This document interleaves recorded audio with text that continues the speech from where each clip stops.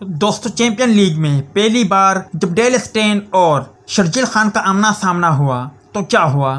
آپ کو بتاتے چلے ڈیل اسٹین کئی بار محمد حفیظ کو آؤٹ کر چکے ہیں اور محمد حفیظ ڈیل اسٹین کے سامنے بالکل ناکام رہے اور ان کے سامنے کوئی خاطر خواہ کارکردگی کا مظاہرہ نہیں کر سکے۔ مگر ڈیل اسٹین کا جب چیمپئن لیگ میں شرجیل خان سے سامنا ہوا تو کیا ہوا؟ دوست گزشتہ رات، ساؤتھ افریقن چیمپئن اور پاکستان چیمپئن کے مابین میچ کھیلا گیا۔ میچ کا نتیجہ کیا آیا؟ کون سی ٹیم نے فتح حاصل کی؟ یہ تو آپ کو آخر میں معلوم ہو جائے گا، مگر آپ کو بتاتے چلے گزشتہ رات، چیمپئن لیگ میں ساؤتھ افریقہ کے خلاف شرجیل خان کی بات کرے تو شرجیل خان نے بہت ہی لاجواب اور شاندار بلے بازی کا مظاہرہ کیا۔ شرجیل خان کے علاوہ شعیب ملک کی بات کرے تو شعیب ملک نے چبیس گیندوں پر اکاون رن بنائے عبد الرزاق نے پندرہ گیندوں پر پچیس، سہیب مقصود نے چوبیس گیندوں پر چوبیس رن بنائے تاہم شرجیل خان کی جتنی تعریف کی جائے وہ کم ہے۔ کیونکہ گزشتہ رات چیمپئن لیگ میں شرجیل خان کی بات کرے